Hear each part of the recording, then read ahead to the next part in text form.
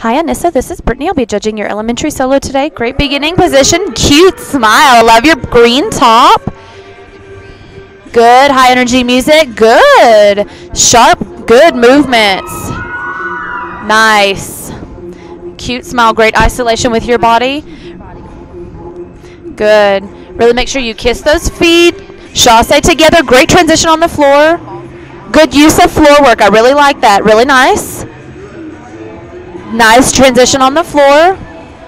Really extend those toes on the toe touch. I know you've got sneakers on, but really make sure you extend those toes. Great sharp arms. I really like that. Nice. Really make sure you connect that passe, but otherwise, really nice single pirouette. Great sharp arms. I really like how sharp you are. Cute. Really great smile throughout the whole routine. Like to see a little bit more body projection from you, but overall, really nice so far. Good rocking back on your heels. Keep your focus up to your audience. Really good ending position. I liked you a whole lot. Um, I'd like to see a little bit more energy through your face. You had a beautiful smile, maybe some more facial expression. Um, other than that, really good job. Good luck.